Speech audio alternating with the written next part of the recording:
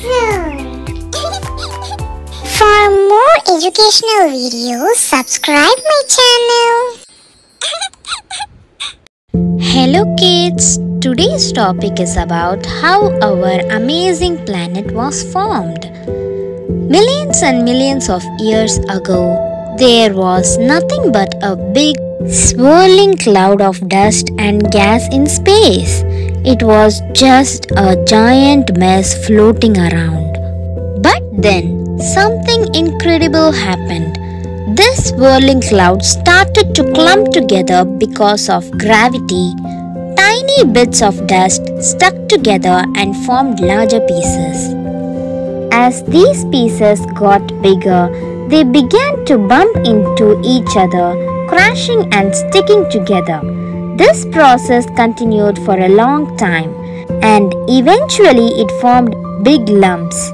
One of these big lumps became our Earth. About 4.5 billion years ago, Earth was a hot and fiery place. It was like a giant oven. There were volcanoes erupting, lava flowing everywhere, and lots of gases filling the air. Pretty intense, right? As time went on, Earth started to cool down. This cooling created a solid crust, which is the ground we walk on. But wait, there's more. Water began to form too. It came from the gases that were released from the rocks and from the icy comets crashing into Earth.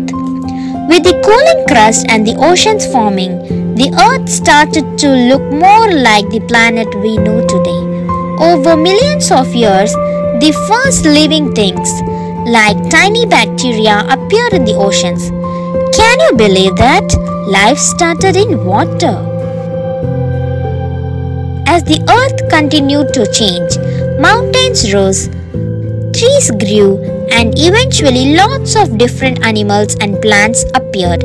Each of these took a long time, but they made the earth a beautiful place for all of us to live. So, in a nutshell, earth formed from a big cloud of dust and gas, cooled down, got some water, and became a home for all kinds of life. Isn't that amazing? Thank you for listening. I hope you learned something cool about how our planet was formed. Hey kids, do you like my channel? So do subscribe my channel.